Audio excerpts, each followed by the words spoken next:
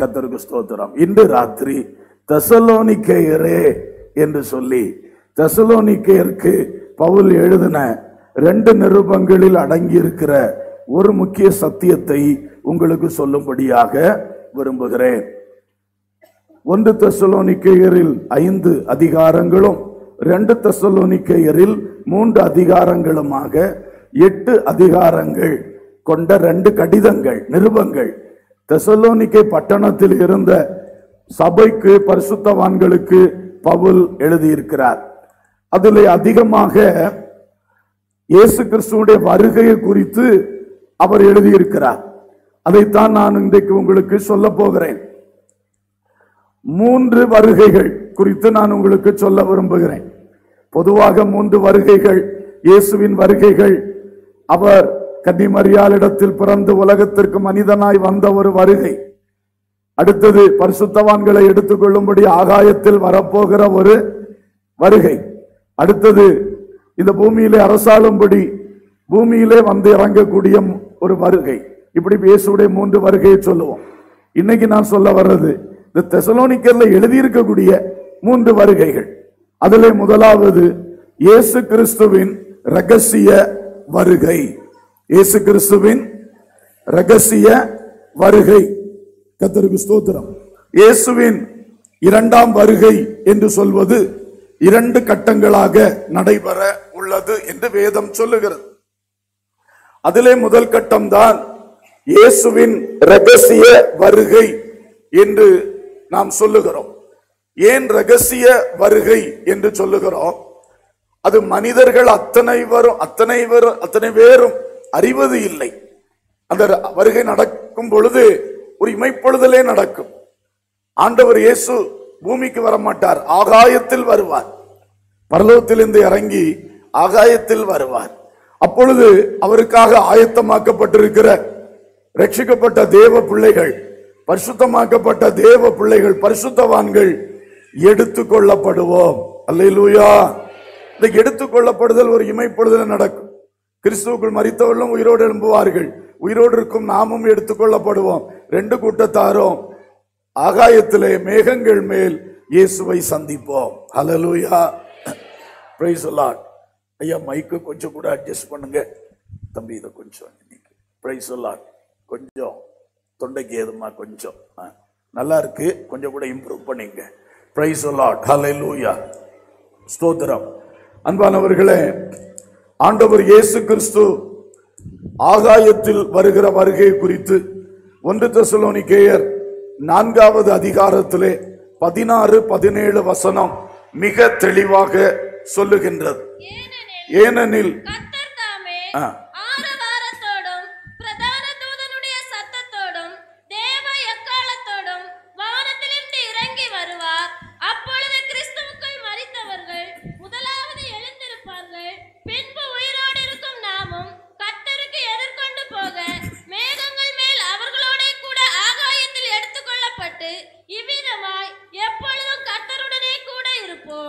ரொம்ப தெளிவாக இயேசு எப்படி வருவார் எங்கே வருவார் யாரை கூட்டி சேர்ப்பார் என்பது மிக தெளிவாக எழுதப்பட்ட ஒரு வசனம்.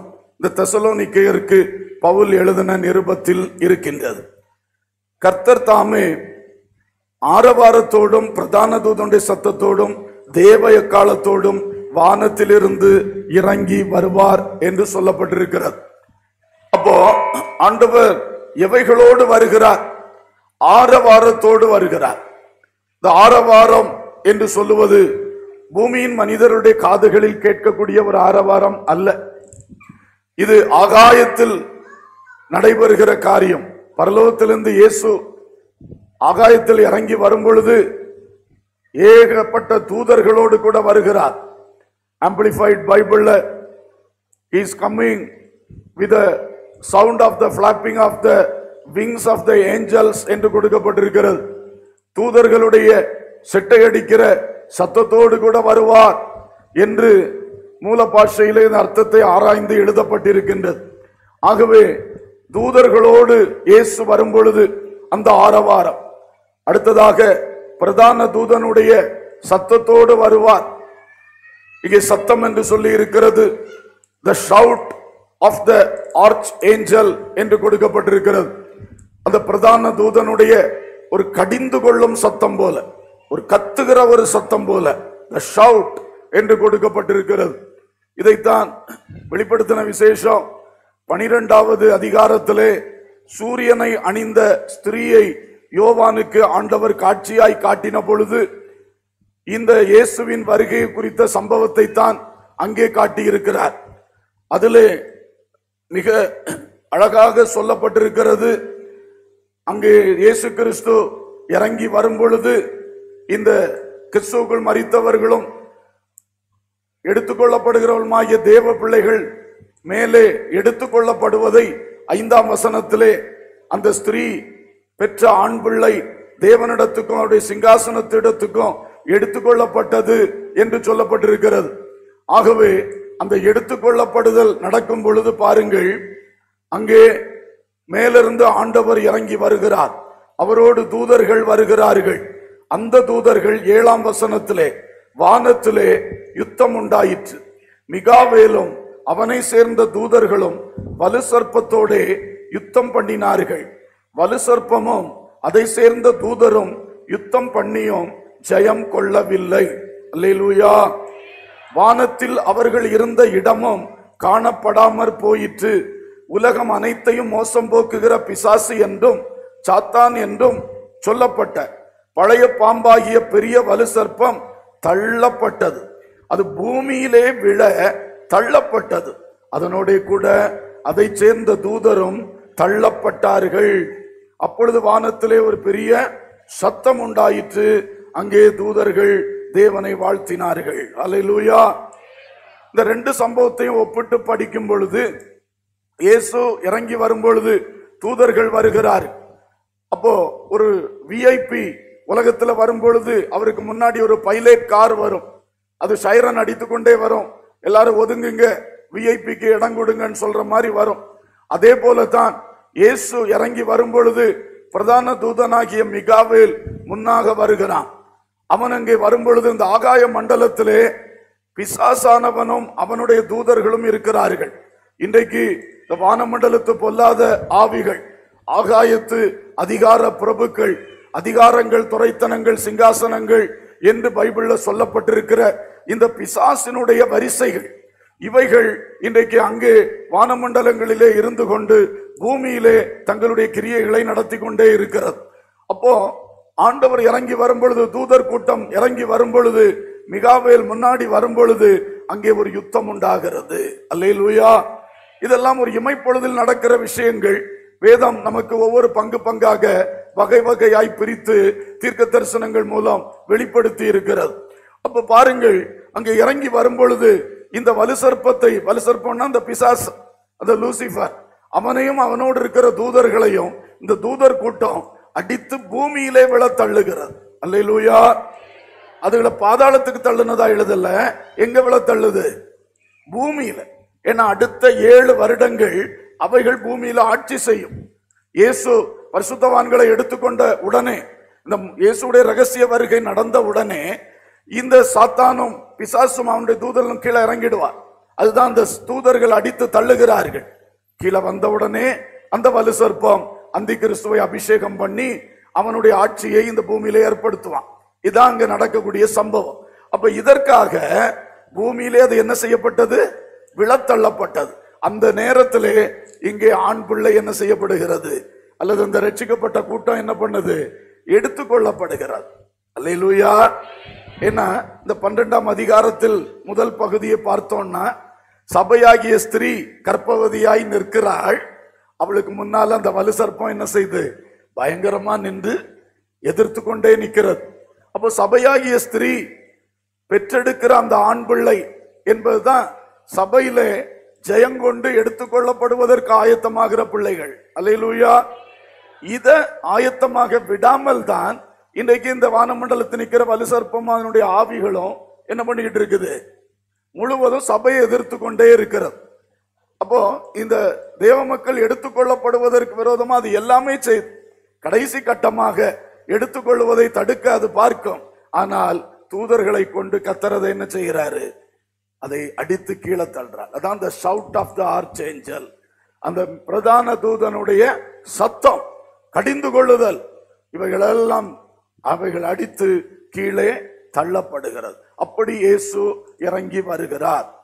தெசலோனிக்கேயர் ஒன்று தெசலோனிக்கேயர் நான்கு பதினாறிலே அடுத்து பார்க்கிறோம். தேவ எக்காலத்தோடும் வானத்திலிருந்து என்ன செய்வார்? இறங்கி வருவார்.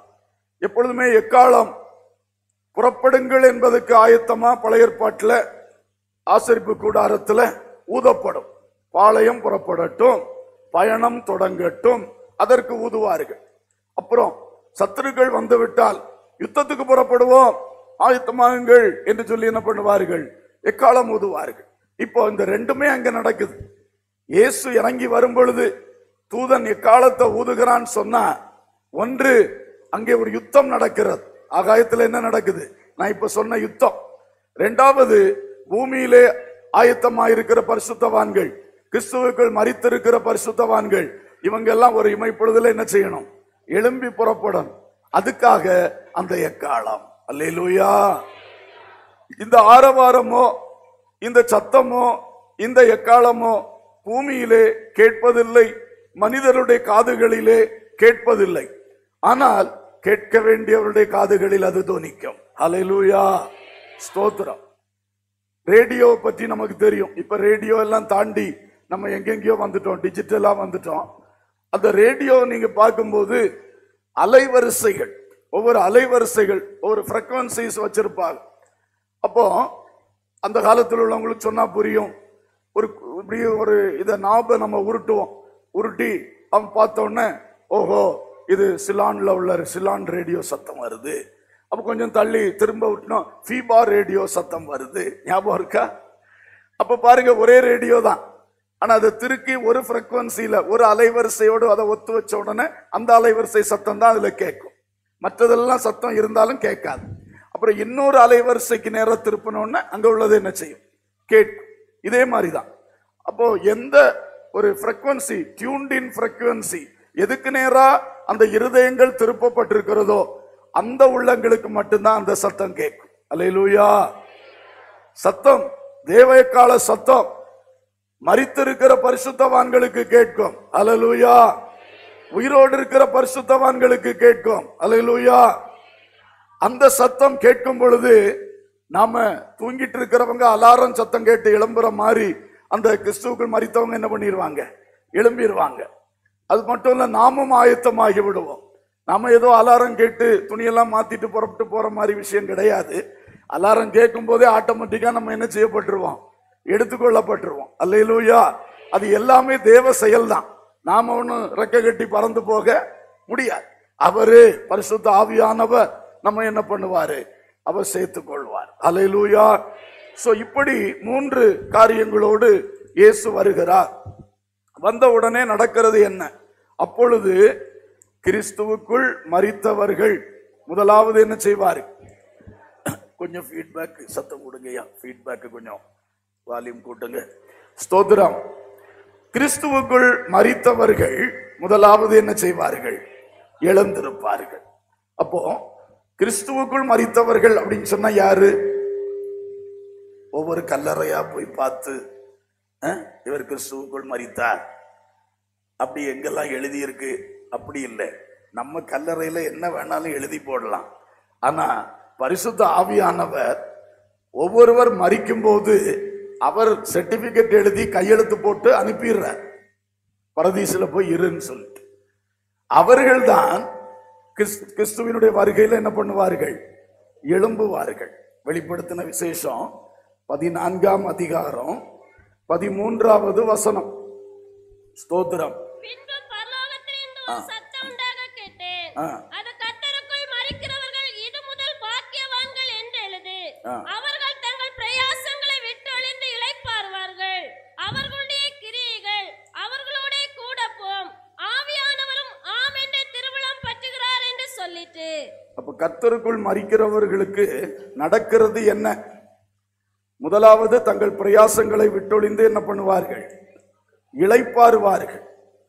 இளைப்பாறுவார்கள். அதான் பரதீசிலே ஆபிரகாம் அடியிலே கிறிஸ்துவின் இழைப்பாறுதலிலே அவர்கள் சேர்க்கப்பட்டு அங்கே என்ன பண்ணுவார்கள்? அங்கே இழைப்பாறுவார்கள் இரண்டாவது அவர்களுடைய கிரியைகள் அவர்களோட கூட போகும் எப்படி போ இந்த பரிசுத்தவான்கள் தேவ பிள்ளைகளாகிய நாம் உலகத்துல வாழும் பொழுது ஆண்டோடைய வசனத்துக்கு எந்த அளவு கீழ்ப்படிஞ்சிருக்கிறோம்? கர்த்தருக்காக என்னெல்லாம் கிரியைகள் செய்திருக்கிறோம்? எவ்வளவு சோதனைகளை சகித்து ஜெயமெடுத்திருக்கிறோம்? எந்த இடங்களிலெல்லாம் கிறிஸ்துவின் நாமத்தை மகிமைப்படுத்தி இருக்கிறோம் நாவினால் அறிக்கை பண்ணி இருக்கிறோம் இது அத்தனைக்கும் கிரியைகளுடைய ரெக்கார்டு உண்டு. அந்த ரெக்கார்டை பரிசுத்த ஆவியானவர் கரெக்டாக ரெடி பண்ணி மறிக்கும் பொழுதே கூடவே கொடுத்து அனுப்புகிறார். கடைசியில் சொல்லியிருக்கு ஆவியானவரும் ஆம் என்று திருவுளம் பற்றுகிறார். அப்போ அந்த ரெக்கார்டை கடைசியில் முடிக்கும் போது ஆவியானவர் தான் கையெழுத்து வச்சு சீல் வச்சு அதை என்ன செய்கிறாரு அனுப்புறார். அதான் அந்த வசனம் சொல்லுது. நாம் வாழுகிற வாழ்க்கைக்குரிய சகல நம்முடைய செயல்கள் நம்முடைய பேச்சுகள் நம்முடைய சிந்தைகள் ஏன்னா பைபிளில் அந்தரங்கங்களை குறித்து நியாயம் தீர்ப்பார் கிரியைகளை குறித்து நியாயம் தீர்ப்பார் வார்த்தைகளை குறித்து நியாயம் தீர்ப்பார் என்றெல்லாம் சொல்லியிருக்கு. இது எல்லாத்தினுடைய ரெக்கார்ட் எடுத்து ப்ரைஸ் லாட் ரொம்ப நேர்த்தியாக இருக்கு. எல்லாத்தினுடைய ரெக்கார்ட் எடுத்து ஆண்டவர் அதை கடைசியில் சைன் பண்ணி பரிசுத்தாவியானுடைய வேலை அதுதான். அவர் தான் இந்த பூமியில் நம்மளை கண்காணித்து நடத்திக்கிட்டே இருக்கிறார். கடைசியில் அவர் தான் கையெழுத்து போட்டு அந்த ரெக்கார்டோடு சேர்த்து நம்மை பரதீசுக்கு அனுப்புவார். அல்லேலூயா. பரிசுத்தவான்களுடைய மரணத்திலே இது சம்பவிக்கிறது. அதுக்கு பிறகு அந்த மரணத்தில் அவர் கையெழுத்து போட்டுறாரு பார்த்தீங்களா அதுக்கு பிறகு அதை கூட்டவும் முடியாது குறைக்கவும் முடியாது திருத்தவும் முடியாது. ஒரு ஸ்- கிறிஸ்தவர்களில் ஒரு சாரார் இது தெரியாம செத்து போனவர்களுக்கா ஜோம் பண்ணிக்கிட்டே இருக்கிறாங்க இருக்கிறாங்களா இல்லையா? செத்து போனவங்களுக்கு ஜோம் பண்றாங்க அவங்க என்ன சொல்றாங்க? செத்து போன ஆத்மா எல்லாம் ஒரு இடத்துல இருக்கும். அது உத்தரிக்கும் ஸ்தலம்னு சொல்கிறாங்க அங்கேருந்து நம்ம திரும்ப வல்லமையாக ஜோம் பண்ணால் அவங்கள அப்படியே எங்கே கொண்டு போயிடலாம். அங்கேருந்து புஷ் பண்ணி எங்கே கொண்டு போயிடலாம். பரலோகத்துக்கு கொண்டு போயிடலாம். அப்படி பைபிளில் எங்கேயாவது இருக்கா? ஏமாந்து போகாதீங்க. இந்த மூச்சு போச்சுன்னா ஆவியானவர் கையெழுத்து போட்டு ரெக்கார்டை என்ன பண்ணிடுவார்? சீல் பண்ணிடுவார். ஆமென்று திருவிழம் பற்றி பற்றிடுவார் அதுக்கு பிறகு என்ன செய்ய முடியாது. திருத்த முடியாது. புரியுதா? அப்படி பைபிளில் எதுவுமே சொல்லலை. நம்ம இந்த மாதிரி உபதேசங்களை கேட்டு செத்தாலும் நம்ம உறவினர்கள்லாம் சேர்ந்து கொஞ்சம் நேர்ச்ச கடன் எல்லாம் செய்து கொஞ்சம் ஜெப மந்திரங்கள் எல்லாம் பண்ணி எப்படியாவது நம்மளை என்ன பண்ணிடுவார்கள் தள்ளி தள்ளி தள்ளி பரலோகத்தில் கொண்டு போயிடுவார்கள் மிக மிக தப்பான காரியம். அப்படி பைபிளில் இல்லவே இல்லை. அல்லேலூயா! நாசியில சுவாசம் போனால் அதுதான் உன் நித்தியத்தின் நிலைமையை. நிர்ணயிக்கும். அந்த நேரத்தில் நீ எப்படி இருந்தாய். என்ன செய்தாய்? அப்புறம் ஒன்றும் கூட்டவும் முடியாது குறைக்கவும் முடியாது. அப்ப ஆவியானவர் திருவிழம் பற்றி இந்த இவர்களை பரதீசிலே அவர் ஆத்மா போயிருச்சு. சரீரங்கள் பூமியிலே அடக்கம் பண்ணப்பட்டு விட்டது. இனி அந்த இயேசுவின் வருகையிலே எக்காலம் துணிக்கும் பொழுது பரதீசில சத்தம் கேட்கும். அங்க இருக்கிற எல்லாரும் விழித்தெழும்புவார்கள். அல்ல லூயா கல்லறைகள் திறக்கும். அவருடைய ச- சரீரங்கள் மறுரூபம் அடைந்து எழும்பி வரும். ஆமென். இதெல்லாம் பைபிள் திட்டமா சொல்லுகிறார். ஆகவே இந்த உயிர்த்தெழும்புதல் நடக்கும் பொழுதே ஒரு இமைப்பொழுதிலே அந்த நேரத்தில் உலகத்திலே உயிரோடு இருக்கிற ரட்சிக்கப்பட்டு பரிசுத்தாய் பெற்று ஞானஸ்நானம் பெற்று பரிசுத்த வசனங்களை கைக்கொண்டு உத்தமமாய் வாழ்கிற கிறிஸ்துவின் வருகைக்கு ஆயத்தமும் விழிப்புமாய் இருக்கிற பரிசுத்தவான்கள் தேவ பிள்ளைகள் ஒரு இமைப்பொழுதிலே எடுத்துக்கொள்ளப்படுவோம் அல்லேலூயா. அதான் இங்க சொல்லியிருக்கு. அப்பொழுது கிறிஸ்துவுக்குள் மறித்தவர்கள் முதலாவது எழுந்திருப்பார்கள். பின்பு உயிரோடு இருக்கும் நாமும் கர்த்தருக்கு எதிர்கொண்டு போக மேகங்கள் மேல் அவர்களோடே கூட ஆகாயத்தில் எடுத்து கொள்ளப்பட்டு இவ்விதமாய் எப்பொழுதும் கர்த்தருடனே கூட இருப்போம். அல்லேலூயா. எவ்வளவு அழகா சொல்லியிருக்கிறாரு. நாம் மேகங்கள் மேல் ஆகாயத்தில் அவர்களோட கூடனா யாரோட கூட? கிறிஸ்துவுக்குள் மறித்து உயிர்த்தெழும்புகிற கூட்டத்தோட கூட நாமும் சேர்ந்து எடுத்துக்கொள்ளப்பட்டு கிறிஸ்துவுடனே எப்பொழுதும் இருப்போம். இந்த வருகை நடந்த பிறகு திரும்ப நம்ம ஒருபோதும் கிறிஸ்துவை விட்டு பிரிவதில்லை. எப்பொழுதும் யாரோடு தான் இருப்போம்? கிறிஸ்துவோடு கூட இருப்போம். அல்லையிலூயா அதுவும் இந்த வசனத்திலே தெளிவாய் இருக்கிறது எப்பொழுதும் கிறிஸ்துவுடனே கூட இருப்போம்.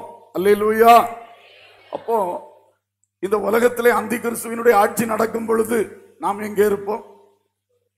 சொல்லுங்க. கிறிஸ்துவுடனே கூட இருப்போம். அல்லா அப்பொழுது கிறிஸ்து பரலோகத்தில் இருப்பார்.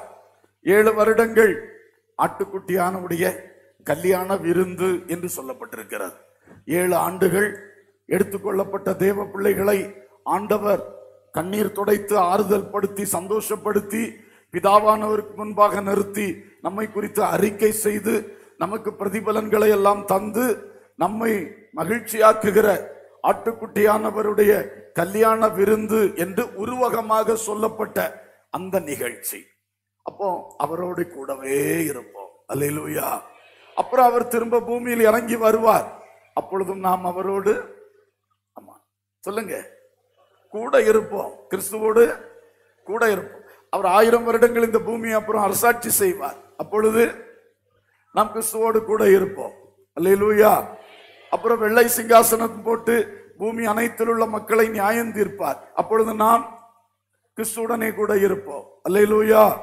அப்புறம் நித்தியத்தை ஸ்தாபித்து பரம எருசலேமிலே சியோன் என்று ஞானார்த்தம் கொள்ளக்கூடிய பரம எருசலேம் பட்டணத்திலே நாம் குடியேற்றுவிக்கப்படுவோம் அப்பொழுதும் நாம் கிறிஸ்துவோடு கூட இருப்போம். அப்ப இந்த எடுத்துக்கொள்ளப்படுதல் நடந்துருச்சுன்னா பிறகு இந்த மணவாட்டி ஆகிய சபை மணவாளனை விட்டு ஒரு பொழுதும் என்ன செய்கிறது கிடையாது. பிரியறதே கிடையாது. அதனால இந்த எடுத்துக்கொள்ளப்படுதலுக்கு நாம் எல்லாரும் ரொம்ப ஆயத்தமாக கவனமாக இருக்க வேண்டும்.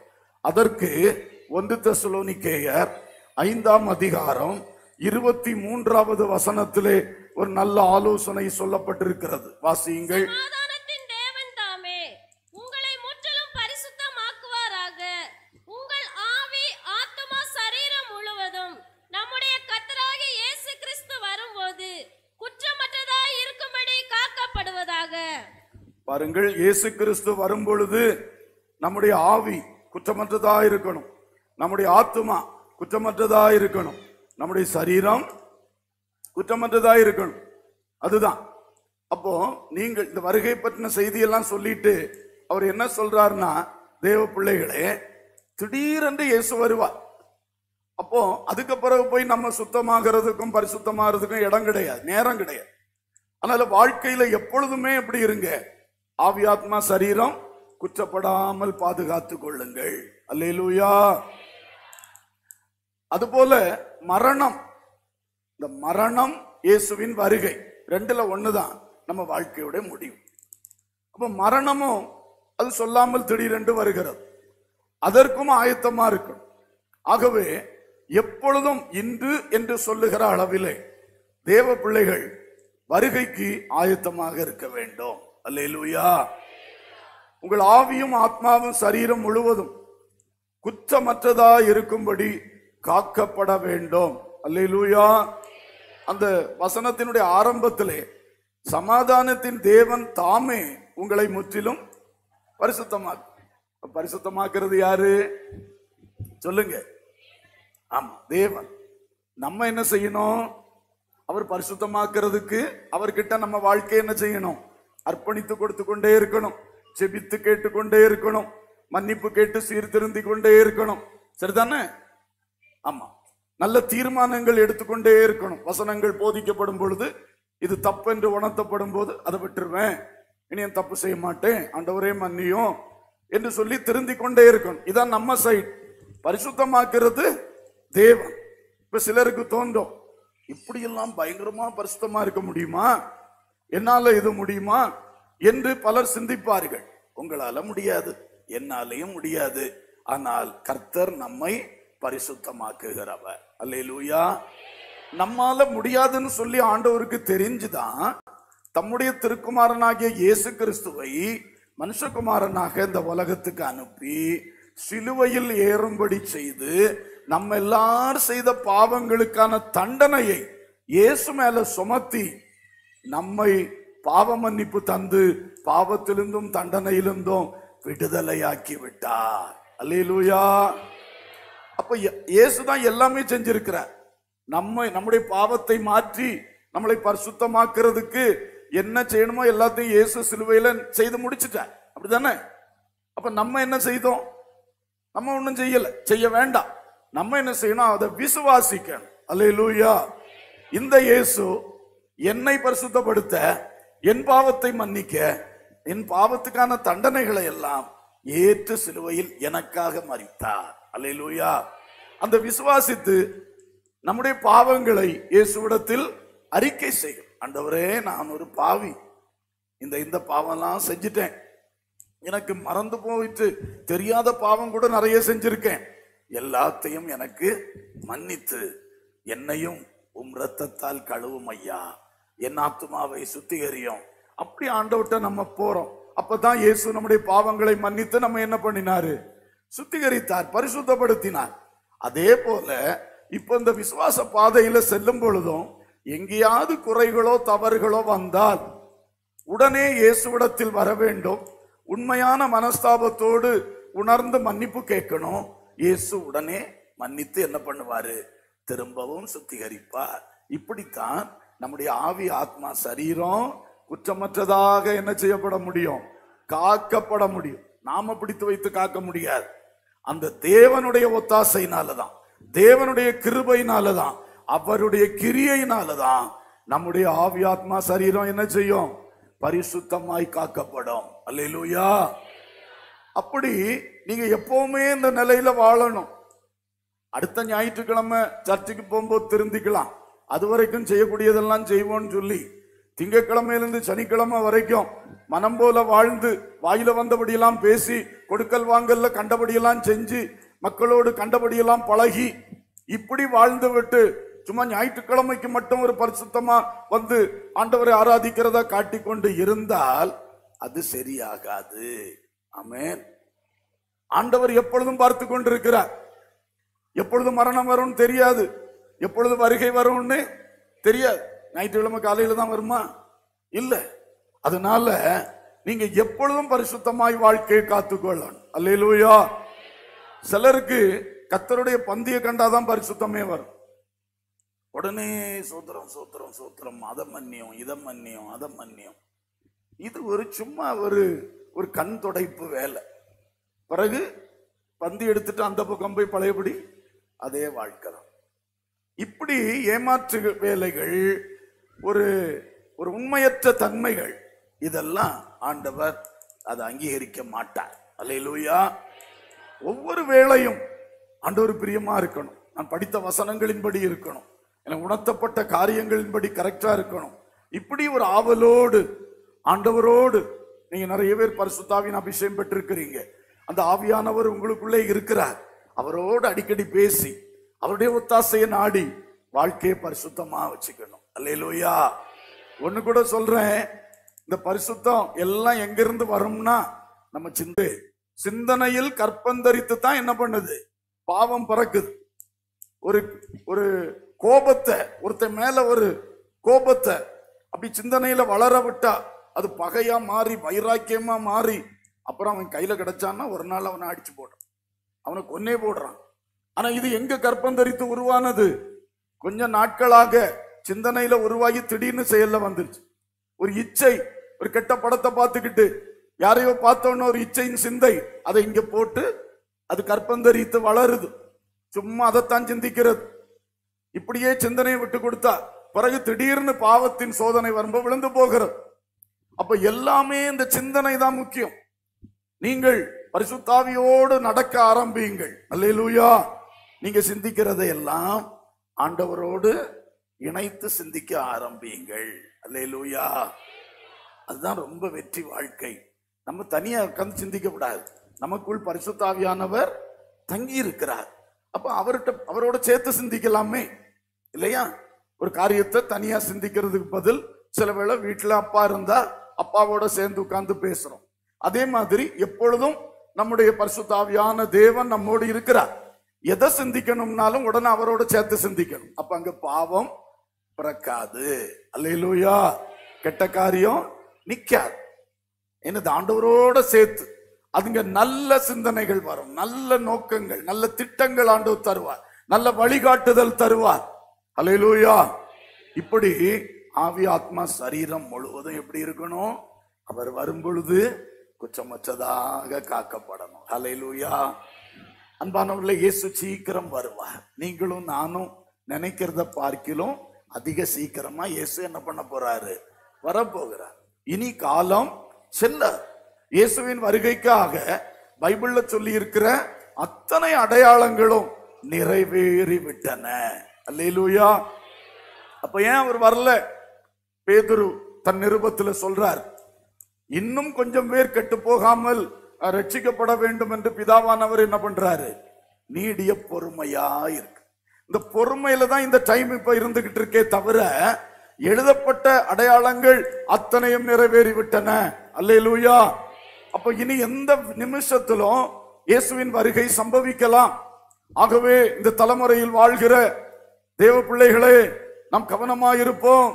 நாம் நம்முடைய ஓட்டத்தை இழந்து விடக்கூடாது. அதனால சாத்தான் கொண்டு வருகிற எந்த திசை திருப்புதல்களுக்கும் எந்த கெட்ட காரியங்களுக்கும் எந்த மோசமான காரியங்களுக்கு நேராய் நம்முடைய நினைவை கொடுக்க வேண்டாம். நம்முடைய கண்களை செலுத்த வேண்டாம். நம்முடைய கால்கள் அங்கே போக வேண்டாம். நம்முடைய கிரியைகள் அப்படி வெளிப்பட வேண்டாம். நம்மை இயேசு கிறிஸ்துவுக்குள் காத்துக்கொள்வோமாக. அலலூயா அல்லேலூயா. தேவ பயத்தோடு வாழ்வோமாக. கர்த்தருக்கு பயந்து ஒவ்வொரு நாளும் அவருடைய வழிகளில் நடப்பீர்களாக. அல்லேலூயா. ஆண்டவர் இயேசு சீக்கிரம் வருவார். நான் சொன்னது மாதிரி மறித்தோர் எழும்புவார்கள். உயிரோடு இருக்கிற நாமும் எடுத்துக்கொள்ளப்படுவோம். நாம் இயேசுவோடு என்ன செய்யப்படுவோம்? சேர்த்து கொள்ளப்படுவோம் அவர் நம்மை பிதாவின் வீட்டுக்கு அழைத்து செல்வார்.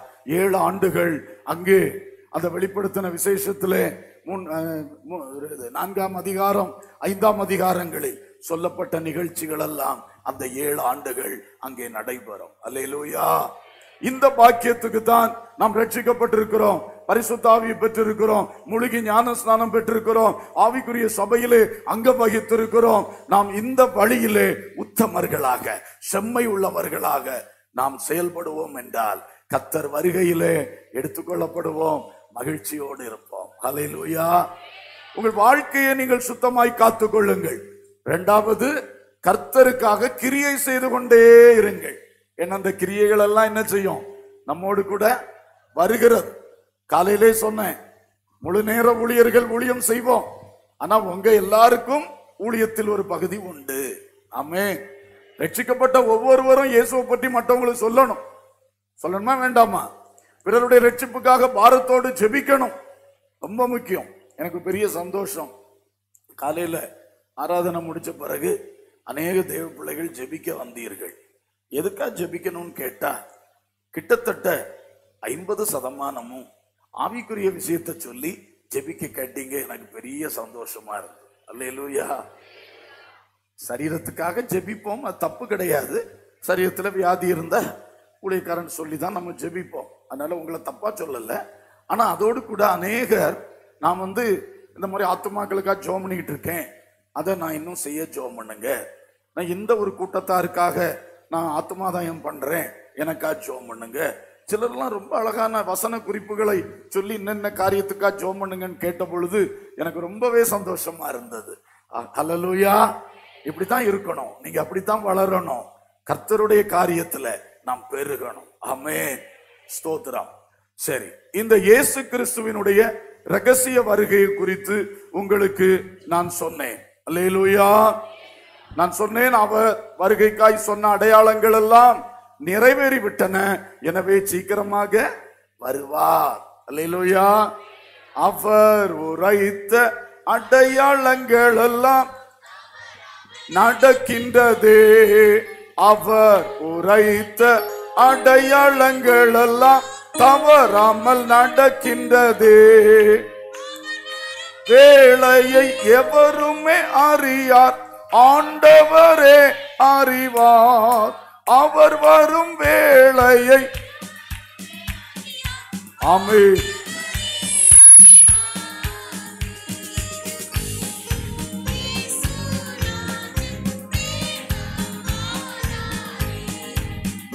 மேகமீதில் இயேசுராஜன் கிறிஸ்துவுக்குள்ளே மறித்தோரெல்லாம் கிளம்பிய எழும்பிடுவார். கிறிஸ்துவுக்குள்ளே மறித்தோரெல்லாம் கிளம்பிய எழும்பிடுவார். மறிக்காதிருக்கும் பரிசுத்தரெல்லாம் மறைந்தே போவாரே. மறிக்காதிருக்கும் பரிசுத்தரெல்லாம் மறைந்தே போவாரே. மே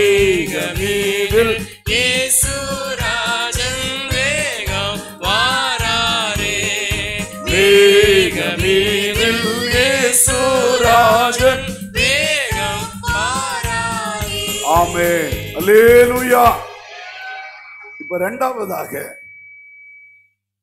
இயேசு கிறிஸ்துடைய ரகசிய வருகை. அடுத்தது ஏழு வருடங்கள் தாண்டி இயேசு நம்மோடு கூட பூமியில் இறங்கி வரக்கூடிய ரெண்டாவது வருகை. இந்த ரெண்டுக்கு நடுவில் இன்னொரு வருகை இருக்கு. அதான் இந்த தெசலோனிக்கல்ல மட்டும்தான் அதை வருகைன்னு சொல்லி இருக்கு அதை நான் இப்ப ரெண்டாவதா சொல்ல வரும் அக்கிரமக்காரனுடைய வருகை. எப்படி? அக்கிரமக்காரனுடைய வருகை. ரெண்டு தெசலோனிக்கேயர் இரண்டாம் அதிகாரம் ஒன்பதாம் வசனம். அந்த அக்கிரமக்காரனுடைய வருகை. சகல வல்லமையோடும் அடையாளங்களோடும் பொய்யான அற்புதங்களோடும். சரி. அந்த அக்கிரமக்காரனுக்கு ஒரு வருகை இருக்கிறதாமே. தெசலோனிக்கேல் அப்படி எழுதி இருக்கிறது இது யார் இந்த அக்கிரமக்காரன்? யார்? அந்தி கிறிஸ்து அந்தி கிறிஸ்து தான் இந்த அக்கிரமக்காரன். இப்போ இயேசு ரகசிய வருகையில் ஆகாயத்தில் வருகிறார். அப்பொழுது பரிசுத்தவான்கள் எடுத்துக்கொள்ளப்படுகிறார்கள் என்று சொன்னேனே அது நடந்த உடனே இவனுடைய வருகையும் நடக்கிறது. அக்கிரமக்காரனுடைய வருகை அக்கிரமக்காரனுடைய வருகை. இப்போ இவனுடைய வ- இவனுடைய வருகையை குறித்து இந்த ரெண்டாம் அதிகாரம் முழுசுலையும் அவர் சொல்றார். சொல்லும் பொழுது இந்த வசனங்களை நாம் வாசிக்கும் பொழுது சில வசனங்கள் அவனுடைய அந்த ஏழு வருடத்தின் ஆரம்பம் அந்த வருகையை குறித்து சொல்லுவார்.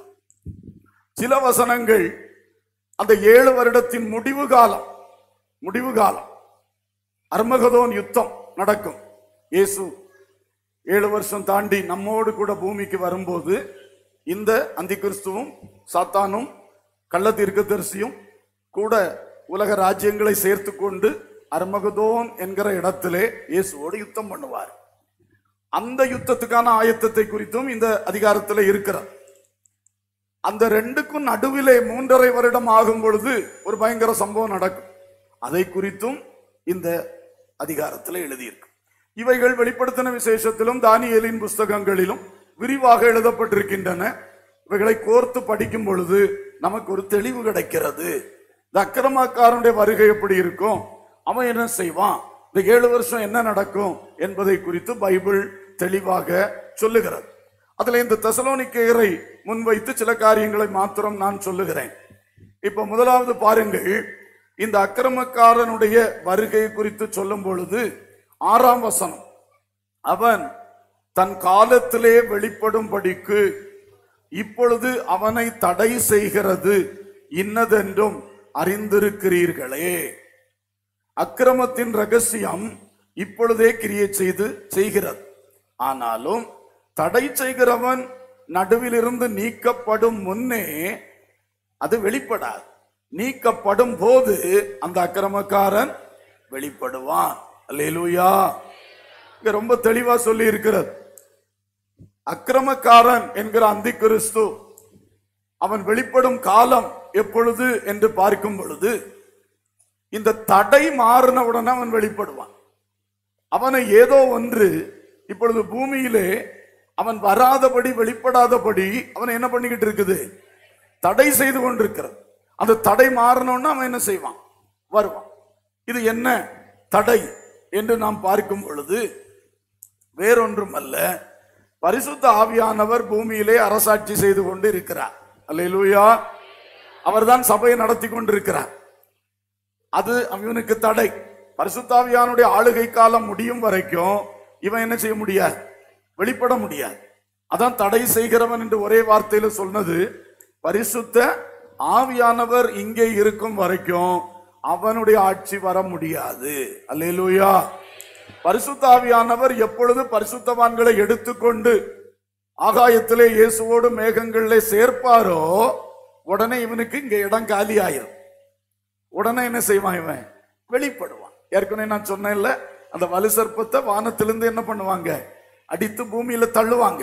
உடனே அந்த வலு சர்ப்பம் இவனை என்ன பண்ணும்? அபிஷேகம் பண்ணும். இவனை அபிஷேகம் பண்ணி அப்பத்தான் இவன் என்ன செய்வான்? வல்லமையோடு வெளிப்படுவான். கத்தருக்கு ஸ்தோத்திரம். இதுதான் நடக்கக்கூடிய காரியம். எனவே அன்பானவர்களே இந்த அந்தி கிறிஸ்து என்கிறவன் வெளிப்படாததற்கு ஒரு தடை பரிசுத்தாவியானவர் இன்னும் இருக்கிறார். இன்னொரு வார்த்தையில சொன்னால் சபை உலகத்தில் இருக்கிறது. அல்லேலூயா. அந்த வருகையிலே சபை என்ன செய்யப்படுகிறது? எடுத்துக்கொள்ளப்படுகிறது அப்போ பரிசுத்தாவியானவர் இருப்பது அவனுக்கு தடை. சபை தேவ பிள்ளைகள் இங்கே இருப்பது அவனுக்கு இப்ப வெளிப்படுறதுக்கு ஒரு தடையாக இருக்கிறது. ஆண்டவர் வைத்த வேலை இன்னும் வரல. அந்த வேலை வரும் பொழுது இயேசுவை அனுப்புவார். அப்பொழுது சபை எடுத்துக்கொள்ளப்படும். பரிசுத்தாவியானவர் பூமியின் ஊழியத்தை நிறைவேற்றி நம்மோடு வந்து விடுவார். அப்பந்தான் இவனுக்கு என்ன உண்டாகும்? இவனுக்கு வழி திறக்கும். கத்தருக்கு ஸ்தோத்திரம். பாருங்கள். வெளிப்படுத்தின விசேஷம். பதிமூன்றாவது அதிகாரத்திலே ஒன்றாம் வசனத்திலிருந்து பத்தாம் வசனம் வரைக்கும் இந்த அந்தி கிறிஸ்துவை பற்றி சொல்லியிருக்கு. அதுல ஒரு வார்த்தையை பாருங்கள். ரெண்டாம் வசனம் கடைசி பகுதி. வலு சர்ப்பமானது தன் பலத்தையும் தன் சிங்காசனத்தையும் மிகுந்த அதிகாரத்தையும் அதற்கு கொடுத்தது இந்த மிருகத்துக்கு அல்லது இந்த அந்தி கிறிஸ்துவுக்கு அப்போ அந்தி கிறிஸ்து அது வரைக்கும் ஒரு மனுஷனா இருப்பான். ஒரு ராஜாவாக இருப்பான். ஆனா அவனுக்கு அந்த வல்லமை இருக்காது. உலகத்தை அடக்கி ஆளக்கூடிய பவர் அவன்கிட்ட இருக்காது. அவன் எங்கேயோ ஒரு இடத்துல ஆட்சி செய்து கொண்டிருக்கலாம். எங்கேயோ ஒரு இடத்துல ஆட்சி இல்லாமல் இருக்கலாம் நமக்கு தெரியாது. ஆனா அவனுக்கு இந்த அபிஷேகம் யார் கொடுக்கிறா? வலு சர்ப்பம். வானமண்டலத்திலிருந்து இயேசுவின் ரகசிய வருகையிலே கீழே தள்ளப்பட்ட வலு சர்ப்பம் வந்த உடனே அந்த அக்கிரமக்காரனை என்ன பண்ணுது? தன்னுடைய அதிகாரத்தை கொடுக்கிறது தன்னுடைய சிங்காசனத்தை கொடுக்கிறது தன்னுடைய பலத்தையும் என்ன செய்கிறதாம்? கொடுக்கிறதாம். இப்படித்தான் அவன் அவனுடைய வருகை. அந்த அபிஷேகம் அவனுக்கு கிடைச்ச உடனே அந்த பிசாசின் அபிஷேகம் கிடைச்ச உடனே அவன் வெளிப்படுவான். இதுதான் அந்த அக்கிரமக்காரனுடைய வருகை என்று தெசலோனிக்கேர்ல சொல்லி இருக்கிறார் ஸ்தோத்திரம். ஆனா இடையில ஒரு வார்த்தையை போட்டார் பாருங்க ஏழாம் வசனத்துல. அக்கிரமத்தின் ரகசியம் இப்பொழுதே கிரியை செய்கிறது. அவன் தான் இன்னும் வெளிப்படலையே தவிர அவனுடைய அக்கிரமத்தினுடைய ரகசியம் இப்பவே உலகத்துல என்ன பண்ணிக்கிட்டு இருக்கு? கிரியை செஞ்சுட்டே இருக்கு. சரிதானே இது? இப்பவுமே அந்தி கிறிஸ்து வருவதற்குரிய சகல ஆயத்தங்களும் அழகா நடந்துகிட்டே இருக்கு. அரசாங்க ரீதியா நடக்குது. பொருளாதார ரீதியா நடக்குது. எல்லா விதத்திலும் நடக்குது. எல்லா விதத்திலும் நடக்கிறது. இப்ப எல்லாருமே முழு உலகத்தை ஒன்னா கூட்டணும்னு தான் நிக்கிறாங்க உலக தலைவர்கள் எல்லாம். இதுதான் அந்தி கிறிஸ்துவுக்கு வேணும். அவன் முழு உலகத்தை ஒரே ஆட்சியில ஆட்சிக்குள்ள என்ன செய்யணும்? கொண்டு வரணும். அதற்குத்தான் அவன் கவனம் செலுத்துகிறான். அதுக்காக எத்தனை எத்தனை முயற்சிகள் எத்தனை எத்தனை பேச்சுவார்த்தைகள் எல்லாம் நடக்கிறது. இப்படி நடந்து கொண்டே இருக்கிறது நடந்து கொண்டே இருக்கிறது. அப்ப பாருங்கள் இந்த அக்கிரமக்காரனுடைய ரகசியம். இதை குறிப்பாக நாம் படிக்க வேண்டும் என்றால் வெளிப்படுத்தல் பதினேழாவது அதிகாரம் ஐந்தாம் வசனத்திலே சொல்லப்பட்டிருக்கிறது. வாசிங்க. ரகசியம் மகா பாபிலோன் வேசிகளுக்கும் பூமியில் உள்ள அருவரு அருவருப்புகளுக்கும் தாய் என்னும் நாமம் அவள் நெற்றியில் எழுதியிருந்தது. பதினைந்தாம் வசனம் பின்னும் அவன் என்னை நோக்கி அந்த வேசி உட்கார்ந்திருக்கிற தண்ணீர்களை கண்டாயே அவைகள் ஜன ஜனங்களும் கூட்டங்களும் ஜாதிகளும் பாசைக்காரருமாம் கடைசி வசனம். நீ கண்ட ஸ்திரியானவள் பூமியின் ராஜாக்கள் மேல் ராஜ்யபாரம் பண்ணுகிற மகா நகரமேயாம் என்றான். இங்கே ஒரு ரகசியத்தை சொல்லி இருக்கிறது பாபிலோன் ரகசியம். இந்த பாபிலோன் என்பவள் பூமியில் உள்ள அருவருப்புகளுக்கெல்லாம் தாயாக இருக்கிறாள். அவள் திரளான தண்ணீர்கள் மேல் இருக்கிறதை கண்டாயே அது தண்ணீர்கள் அல்ல அது ஜனங்களும் கூட்டங்களும் ஜாதிகளும் பாசைக்காரரும். அப்ப பெரிய ஒரு ஜனக்கூட்டம். அதுதான் அந்த மகா பாபிலோன். அடுத்தது அது வந்து இன்றைக்கே பூமியிலே ராஜாக்கள் மேல் ராஜ்யபாரம் பண்ணுகிற மகா நகரமே யாம். பாருங்கள் இந்த பாபிலோன் என்று சொல்வதுதான் அந்தி கிறிஸ்துடைய ரகசியம். அந்தி கிறிஸ்து தனக்கென்று ஒரு கூட்டத்தை இப்பொழுதே ஆயத்தம் பண்ணி கொண்டே இருக்கிறான். அந்த கூட்டத்துக்கு பேர் தான் பாபிலோன். அந்தி கிறிஸ்துவின் மணவாட்டி பாபிலோ எப்படி அந்தி கிறிஸ்துவுக்கு அந்த அவன் வெளிப்படும் பொழுது ஒரு கள்ளத்தீர்க்க தரிசின்னு ஒருத்தன் கூட வருவான். எல்லாம் டீட்டெயிலாக சொல்ல முடியாது. பைபிள் ஸ்டடிகளில் தான் நம்ம டீட்டெயிலாக அவைகளை சொல்லுகிறோம். அப்போ அந்த அந்தி கிறிஸ்துவோடு கூட எழும்புகிற கள்ளத்தீர்க்க தரிசி என்பவன் மதம் சார்ந்தவன். அவன் கள்ளத்தீர்க்க தரிசினாலே தெரியும்ல அவன் ரிலிஜியஸ் லீடர் மற்றவன் பொலிட்டிக்கல் லீடர் அவன் அந்தி கிறிஸ்து அரசியல் தலைவன். இவன் யாரு? கூட நிக்கிறவன் மத தலைவன் அப்போ இந்த அரசியலும் மதமும் ஒன்று சேர்ந்து அதோடு கூட வலு சர்ப்பமும் சேர்ந்து மூவருடைய கூட்டாட்சி. அதுதான் அந்த அந்தி கிறிஸ்துவனுடைய ஏழு வருட பொல்லாத ஆட்சி. அப்ப இங்கே நாம் பார்க்கிறோம் இந்த மகா பாபிலோன் என்பது ஒரு பெரிய ஜனக்கூட்டம். அது இப்பொழுதே பூமி அரசாட்சி செய்து வருகிற ஒரு பட்டணம். புரிஞ்சாச்சா? ஒரு பட்டணம். அப்போ ஒரு பட்டணத்துல ஒருத்தர் ராஜாவா இருக்கிறாரு. அவர் மத தலைவராகவும் இருக்கிறாரு. அவர்தான் இந்த கள்ளத்தீர்க்க தரிசி என்ற ஸ்தானத்துல என்ன செய்ய போறாரு? வெளிப்பட போகிறார். அதுதான் இந்த பாபிலோன் ரகசியம். இப்பவுமே அவரு பைபிளை மாத்தி மாத்தி பேசுறாரு. பைபிளை திருத்தணும்னு சொல்றாரு. எல்லா அநியாயமும் அக்கிரமும் இப்பவுமே ரெடி பண்ணிக்கிட்டு இருக்கிறாரு. அந்த ஏழு மலைகள் மேல் இருக்கிற ரோமாபுரி பட்டணத்தை குறிவைத்து தான் இந்த வார்த்தை சொல்லப்பட்டிருக்கிறது. அல்லேலூயா. அப்போ இந்த பாபிலோன் ரகசியம் அந்தி கிறிஸ்துடைய மணவாட்டி இப்பொழுதே ஆயத்தமாகிக் கொண்டிருக்கிறார். எப்படி இயேசு கிறிஸ்துவுடைய மணவாட்டியாகிய எருசலேம் குமாரத்தி சியோன் குமாரத்தி இயேசுவுக்கு ஆயத்தமாகிக் கொண்டிருக்கிறாளோ? அதே போல இந்த கடைசி காலத்திலே இந்த அந்தி கிறிஸ்துவினுடைய மணவாட்டியாகிய பாபிலோன் வெகு விமரிசையாய் ஆயத்தமாகி கொண்டே இருக்கிறாள். அதனால் தான் தசலோனிக்கேர்ல பவுல் அவர் தேவ வெளிப்பாடோடு சொன்னார் அக்கிரமத்தின் ரகசியம் இப்பொழுதே கிரியை செய்கிறது. அல்லேலூயா. எனவே கிறிஸ்துவின் பெயரை வைத்து கிறிஸ்துவினுடைய சத்தியத்தை சிதைக்கிற கூட்டத்துக்கு நீங்கள் விலகி இருக்க வேண்டும். அல்லேலூயா. கிறிஸ்துவின் பைபிளை கையில் வைத்துக்கொண்டு உபதேசங்களை தாறுமாறாக குழப்பமாக போதிக்கிற ஊழியக்காரரை விட்டு நீங்கள் விலகி இருக்க வேண்டும். அல்லேலூயா. டிவியிலே யூடியூப்லே சோசியல் மீடியாஸ்லே இன்றைக்கு ஏகப்பட்ட இது போன்ற செய்திகள் வந்து கொண்டிருக்கிறது. இதெல்லாம் நீங்கள் ஏதோ தெய்வீக பக்தி விருத்திக்கு ஆண்டவர் தந்த பெரிய வாசல் என்று தப்பிதமா நினைக்க கூடாது அதிலே அநேகம் காரியங்கள் வஞ்சனைக்குரியவைகளாகவே வருகிறது.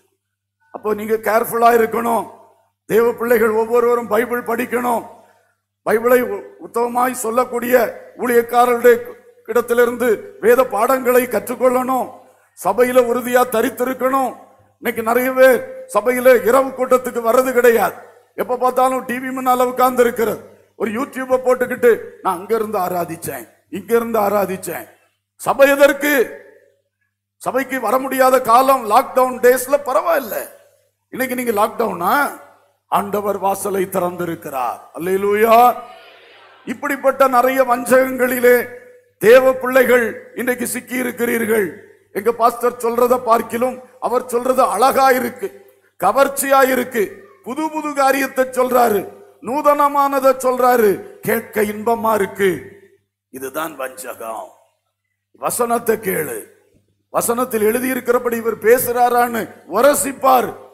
யார் பேசினாலும் சரி இன்னைக்கு தேவ பிள்ளைகள் நீங்கள் எல்லாரும் சொல்றதை கேட்டு வஞ்சிக்கப்பட்டு போகக்கூடாது. அல்லையிலூயா நீங்க பரிசுத்தாவியின் உதவியோடு பரிசுத்த வேதாகமத்தை வாசிக்கிறவர்களாக நீங்கள் ஒவ்வொருவரும் காணப்பட வேண்டும். அல்லையிலூயா தேவ ஊழியக்காரர்கள் வெறும் ஞாயிற்றுக்கிழமை பிரசங்கத்தோடு ஊழியத்தை நிறுத்திக் கொள்ளக்கூடாது.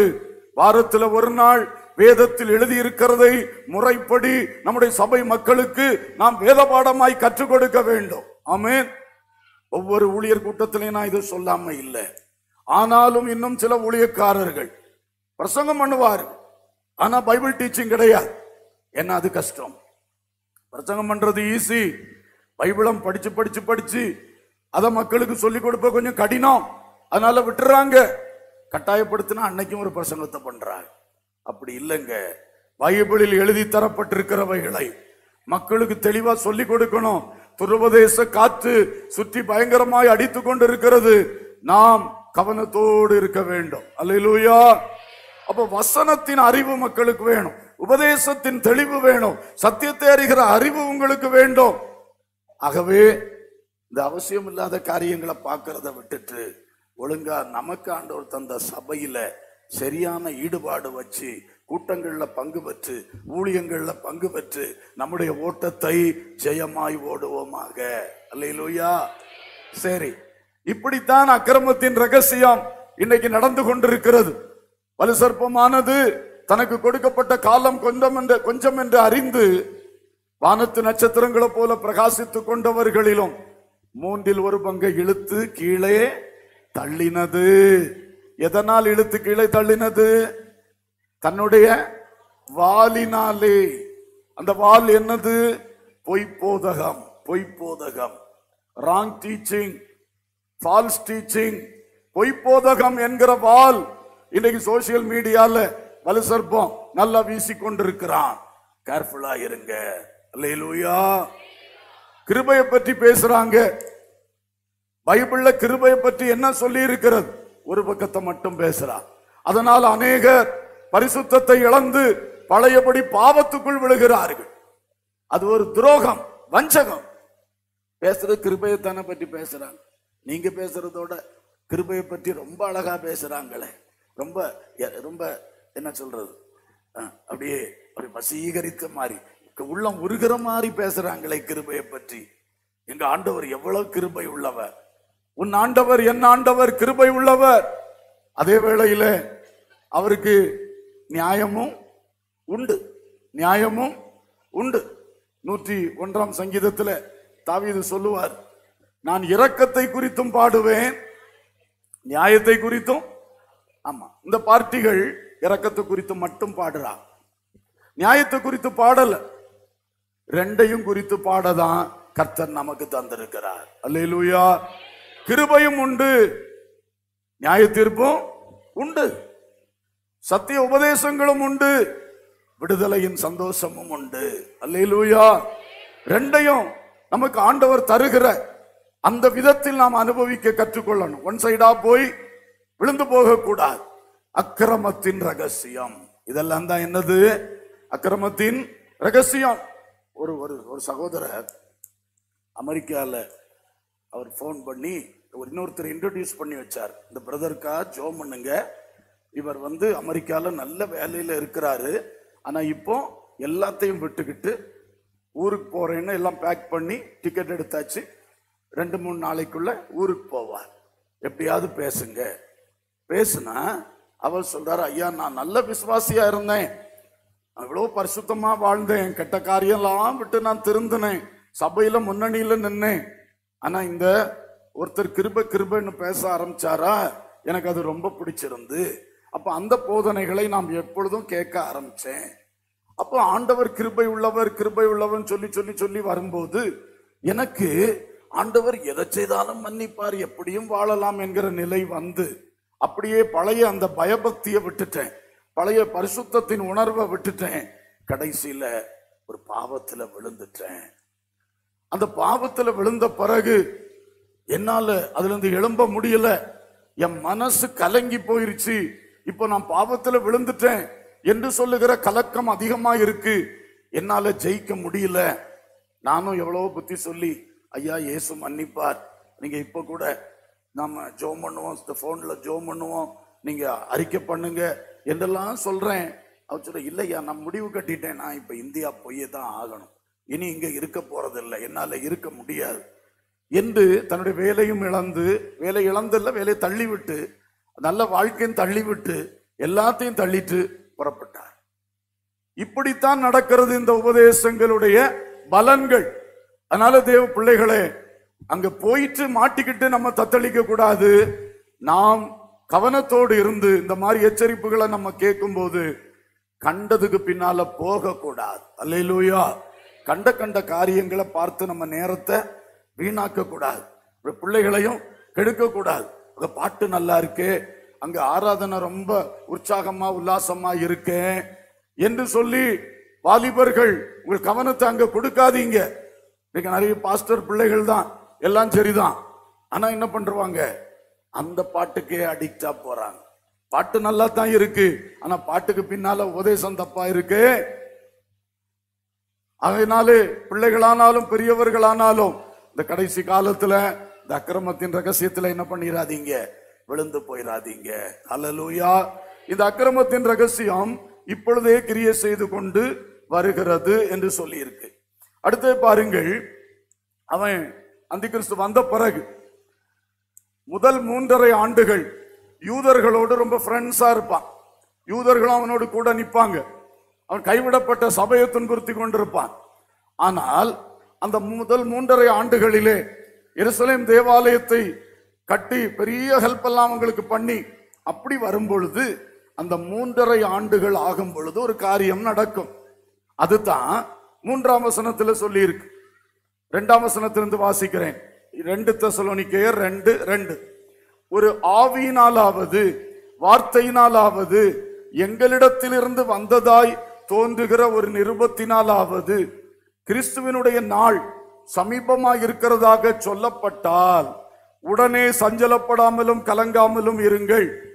எவ்விதத்தினாலும் ஒருவனும் உங்களை மோசம் போக்காதபடிக்கு எச்சரிக்கையாய் இருங்கள் ஏனெனில் கவனிங்க விசுவாச துரோகம் முந்தி நேரிட்டு கேட்டின் மகனாகிய பாவ மனுஷன் வெளிப்பட்டால் ஒழிய அந்த நாள் வராது. அப்புறம் நாலாம் வசனத்துல அவனை பற்றி அவன் எதிர்த்து நிற்கிறவன் தேவன் எண்ணப்படுகிறவைகளையும் ஆராதிக்கப்படுவதையும் அவை எல்லாவற்றுக்கும் மேலாக தன்னை உயர்த்துகிறவன் தேவனுடைய ஆலயத்திலே தேவனைப் போல உட்காருகிறவன் தன்னைத்தானே தேவன் என்று காண்பிக்கிறவனாயும் இருப்பான். அப்ப இந்த ரெண்டு வசனங்களில் அந்த கிறிஸ்துவின் ஆட்சியிலே நடுவிலே மூன்றரை ஆண்டு காலத்தில் நடக்கிற சம்பவத்தை சொல்றார். இந்த மூன்றரை ஆண்டு ஆகும் பொழுது என்ன நடக்கும்? திடீரென்று எருசலேம் தேவாலயத்துக்குள் அந்தி கிறிஸ்து வருவான்.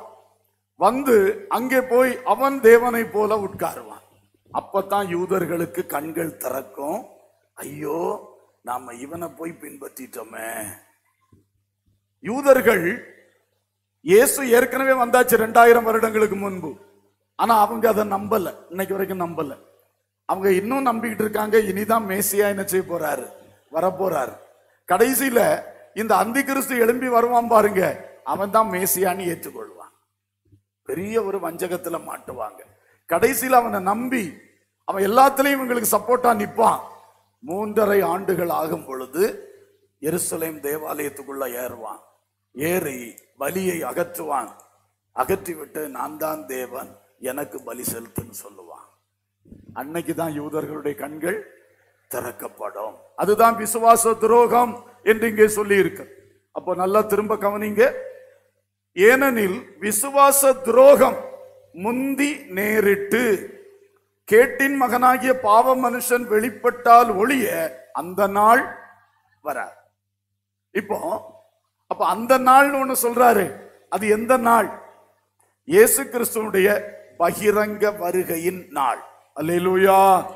அந்த பகிரங்க வருகையின் நாளுக்கு முன்னதாக மூன்றரை ஆண்டுகளுக்கு முன்னதாகத்தான் இந்த விசுவாச துரோகம் நடைபெறும். யூதர்கள் இவனை விசுவாசித்தார்கள். ஆனா இவன் துரோகம் பண்ணுவான். துரோகம் பண்ணவனதான் கேட்டின் மகன் வெளிப்படுகிறான். அல்லேலூயா. அது வரைக்கும் யூதர்கள் இவனை மேசியான்னு நினைச்சிட்டு இருந்தான் ஆனா இப்பதான் தெரியுது இவன் யாரு? கேட்டின் மகன். கேட்டின் மகன் என்கிறது வெளிப்படுது அன்னைக்கு. அது வெளிப்பட்டு அந்த விசுவாச துரோகம் நடந்த பிறகுதான் பகிரங்க வருகை இருக்கும். கர்த்தருடைய நாள். அல்லேலூயா. சிலர் அந்த நாள் என்று சொல்லுவதை பரிசுத்தவான்கள் எடுத்துக்கொள்ளப்படுகிற நாள் என்று சொல்லி தப்பாக நினைத்து ரகசிய வருகை கிடையாது என்றெல்லாம் போதிக்க ஆரம்பிக்கிறாங்க. ஆகவே நாம் இதில் தெளிவா இருக்கணும். விசுவாச துரோகம் நேரிடுவது அந்த கிறிஸ்துடைய ஆட்சியின் நடுவிலே. அது யூதர்களுக்கு நேரிடுவது. அது நேரிட்ட பொழுதுதான் அவர்கள் இவன் கேட்டின் மகன் என்று அறிவார்கள். கேட்டின் மகன் என்பது வெளிப்படும். அது வெளிப்பட்ட பிறகுதான் அந்த நாள் வரும். அல்லேலூயா. அந்த நாள் என்பது இயேசு கிறிஸ்துடைய பகிரங்க வருகையின் நாள். அல்லேலூயா. இப்போ நான்காம் வசனத்தில் அவனை பற்றி சொல்லி இருக்கு அவன் எதிர்த்து நிற்கிறவன் தெய்வீகத்தை மதிக்காதவன் தன்னை தேவனை போல காட்டுகிறவன். இதே விஷயம் வெளிப்படுத்தல் பதிமூன்றுல ஐந்து மற்றும் ஆறு வசனங்களில் அந்தி கிறிஸ்துவை பற்றி சொன்ன இடத்துல சொல்லி இருக்கு பெருமையானவைகளையும் தூஷணங்களையும் பேசும் வாய் அதற்கு கொடுக்கப்பட்டது. அல்லாமலும் நாற்பத்தி ரெண்டு மாதம் யுத்தம் பண்ண அதற்கு அதிகாரம் கொடுக்கப்பட்டது. நாற்பத்தி ரெண்டு மாதம்னா மூன்றரை ஆண்டுகள். அது தேவனை தூஷிக்கும்படி தன் வாயை திறந்து அவருடைய நாமத்தையும் அவருடைய வாசஸ்தலத்தையும் பரலோகத்தில் வாசமாய் இருக்கிறவர்களையும் தூஷித்து பரிசுத்தவான்களோடு யுத்தம் பண்ணினது. அல்லேலூயா. அப்ப பாருங்கள் இந்த அந்தி கிறிஸ்து என்கிற அக்கிரமக்காரனை குறித்து இந்த விவரங்கள் சொல்லப்பட்டிருக்கு. இனி கடைசியில ஏழு வருஷம் முடியும் பொழுது இயேசு நம்மோடு கூட ஒலிவ மலையில் இறங்கி வருவார். அல்லேலூயா. அப்படி வந்தவுடனே இந்த அக்கிரமக்காரன் அவன் என்ன செய்வான்? அவனுடைய கூட்டத்தை எல்லாம் கூட்டிக் கொண்டு இயேசுவை எதிர்த்து வருவான். வெளிப்படுத்தல் பதினாறாம் அதிகாரம் பதிமூன்றாம் வசனத்திலே அது தெளிவாய் சொல்லி இருக்கிறது. சிக்ஸ்டீன் தேர்ட்டீன் வாசிங்க. அப்பொழுது வலு சர்ப்பத்தின்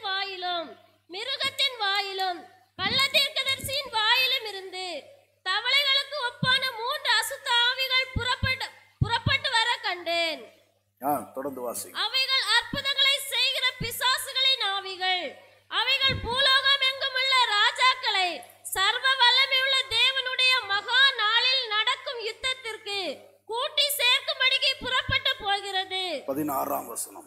அப்பொழுது எபிரேய பாசையிலே அர்மகதோன் எனப்பட்ட இடத்திலே அவர்களை கூட்டி சேர்த்தான். சரி இப்படி ஏழாம் வருஷம் முடிவிலே இயேசுவின் பகிரங்க வருகையிலே இந்த அந்தி கிறிஸ்து கள்ளத்தீர்க்கு தரிசி வலுசற்பமாகிய சாத்தான் மூணு பேரும் பெரிய அற்புத கிரியெல்லாம் நடத்தி ராஜாக்களை வசப்படுத்தி அவர்கள் எல்லாரையும் கூட்டிக் கொண்டு குறிப்பாய் பத்து ராஜாக்கள் இவனோடு சேர்ந்து கொள்ளுகிறார்கள்.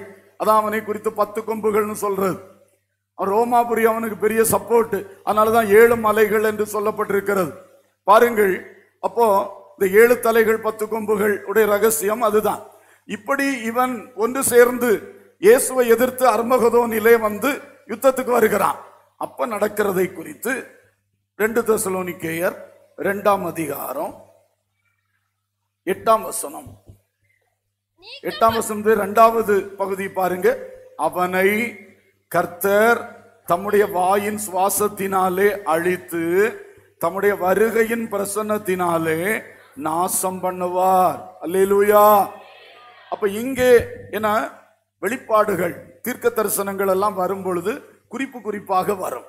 ஒரே வரிசையாக கட்டுற மாதிரி எழுதா எழுதப்படாது. அதனால தான் ஒவ்வொன்றும் ஒவ்வொன்றை சொல்லுகிறது. இந்த பகுதி எட்டாம் வசனத்தில் இருக்கிற இந்த பகுதி அந்தி கிறிஸ்துடைய முடிவை குறித்து சொல்லுகிறது. எப்படி முடிவு? கர்த்தருடைய வாயின் சுவாசத்தினால் அழிக்கப்படுவான். அவருடைய வருகையின் பிரசன்னத்தினால் நாசமாய் போவான். ஆண்டவுடைய பகிரங்க வருகை. பகிரங்க வருகை வந்து அருமகுதம்ல அவர் யுத்தம் பண்றார். எப்படி யுத்தம் பண்ணுவார்? இவனை போல ஆயுதங்களை வச்சு யுத்தம் பண்ண மாட்டார். வாயின் சுவாசத்தினாலே என்ன பண்ணுவாரு? யுத்தம் பண்ணுவார். வெளிப்படுத்தல் பத்தொன்பது. இருபத்தி ஒன்று பாருங்கள். மற்றவர்கள் குதிரையின் மேல் ஏறினவராகிய இயேசு கிறிஸ்துவுடைய வாயிலிருந்து புறப்படுகிற பட்டயத்தால் கொல்லப்படுவார்கள். இதுவும் அர்மகதோன் யுத்தத்தை பற்றி சொல்லி இருக்கிறது தான் அப்போ அவருடைய வாயின் பட்டயம் என்று வெளிப்படுத்தல சொல்லி இருக்கு தெசலோனிக்கேல அவருடைய வாயின் சுவாசம் என்று சொல்லி இருக்கு ரெண்டுமே எதை காட்டுது? தேவனுடைய வார்த்தை. அல்லேலூயா. கர்த்தர் பேசுகிற வார்த்தையினால் அவன் அழிக்கப்படுவான். ஏன்னா பைபிளை குறித்து தீமோத்தையில சொல்லும் பொழுது இது தீர்க்க தரிசனங்கள் எல்லாம் கர்த்தர் சுவாசித்து அளித்தவைகள் என்று சொல்லி இருக்கு காட் பிரத்ஸ் வேர்ட்ஸ் என்று சொல்லி இருக்கு ஆண்டவர் சுவாசித்தளித்த வார்த்தைகள்.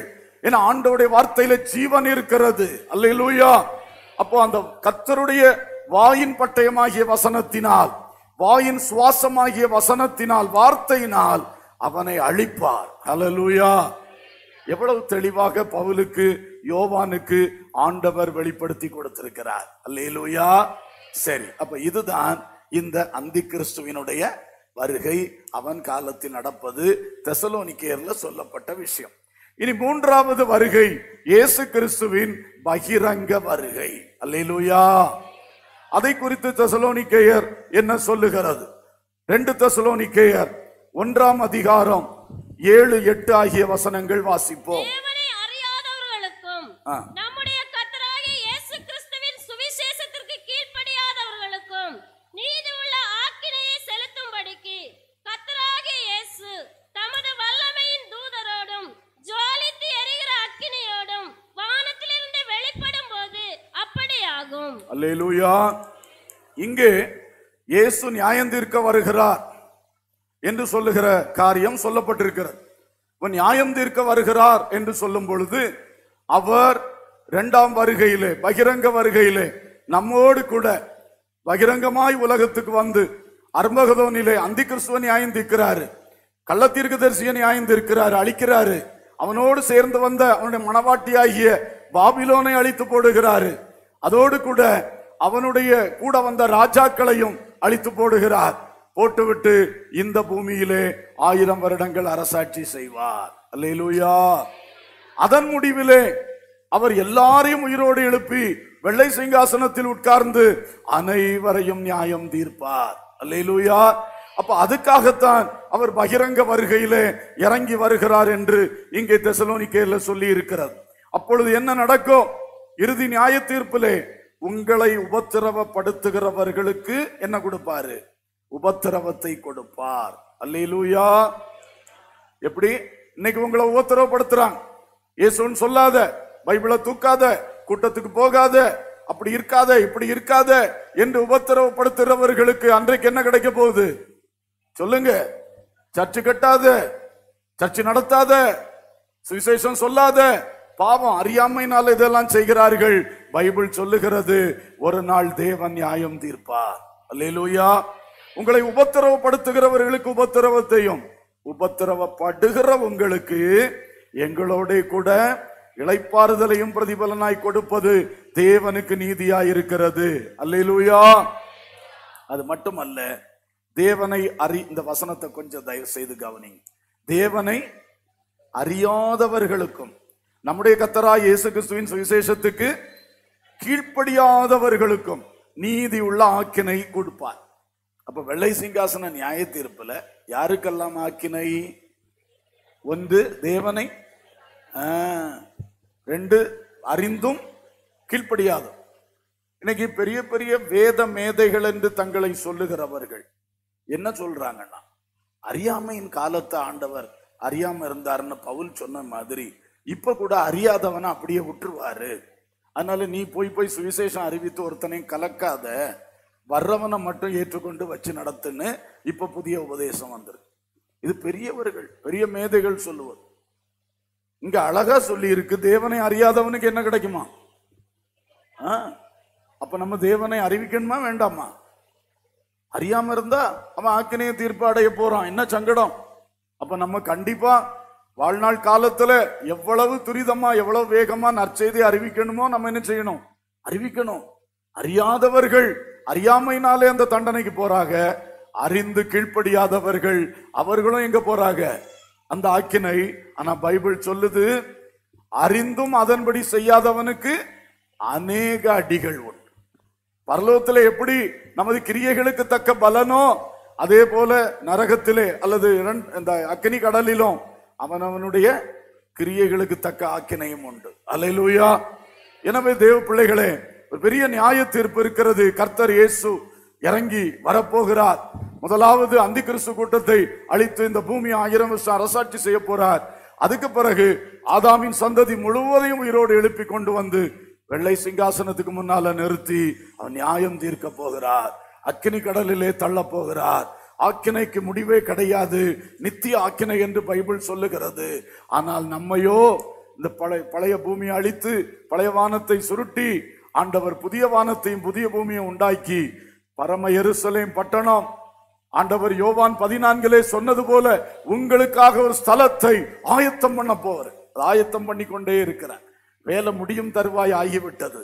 அது அன்றைக்கு இறங்கி வரும். ஹலெலூயா அந்த பட்டணத்தில் தான் நம்மை குடியேற்ற போகிறார். அலையிலூயா பரம எருசலேம் என்பது ஞானார்த்தமாக பரம சியோன் என்றும் அழைக்கப்படுகிறது. அல்லையிலூயா பரம எருசலேமுக்குள்ளே ஒரு சியோன் என்ற ஒரு எழுத்தின்படி ஒரு இடம் இருக்கிறதா?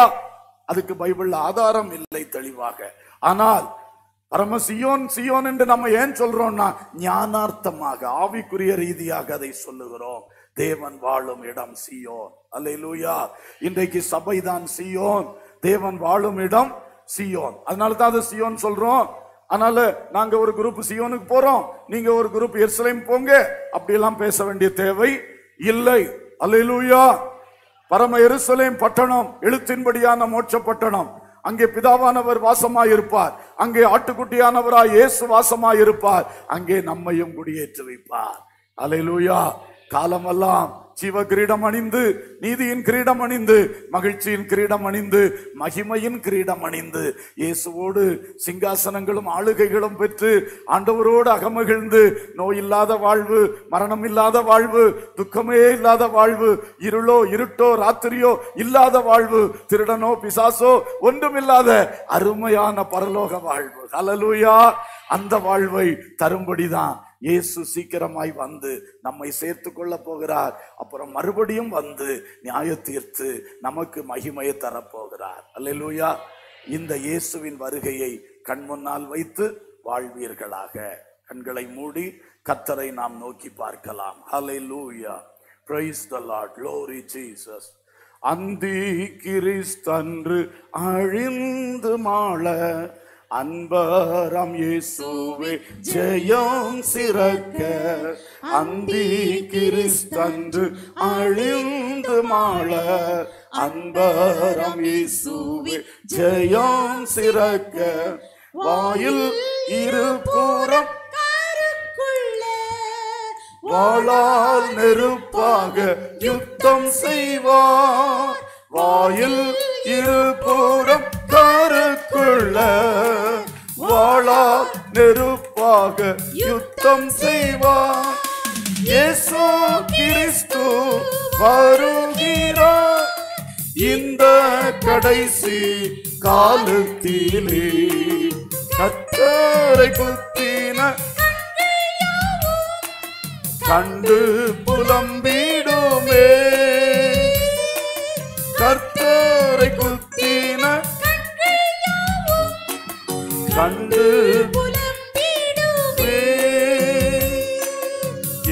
எதை விதைத்தாயோ அதை அறுப்பார் எல்லா அநீதிக்கும் கூலி பெறுவார் எதை விதைத்தாயோ அதை அறுப்பார்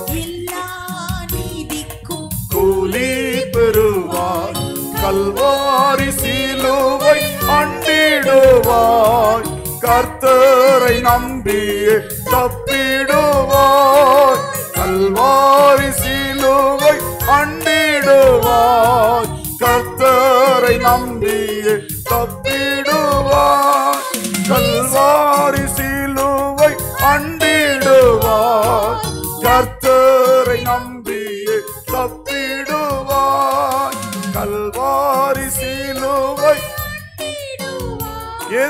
வருகைக்கு நீ ஆயத்தப்பட. இப்பொழுது கல்வாரி சிலுவையை நோக்கி பார்ப்பாயாக. உனக்காக இரு கரம் நீட்டி தொங்கின ஆண்டவர் இயேசு உன்னை இந்த நியாய தீர்ப்புக்கும் தண்டனைக்கும் தப்பித்துக் கொள்ளும்படியாக இயேசு இந்த ராத்திரி உன்னை அழைக்கிறார். இயேசுவண்டை வா அவரே அடைக்கல பட்டணம் இயேசுவை நம்பினவர்கள் இயேசுவை உத்தமமாய் பின்பற்றுகிறவர்கள் இந்த பயங்கரங்களுக்கெல்லாம் தப்பி காத்து கொள்ளப்படுவோம்.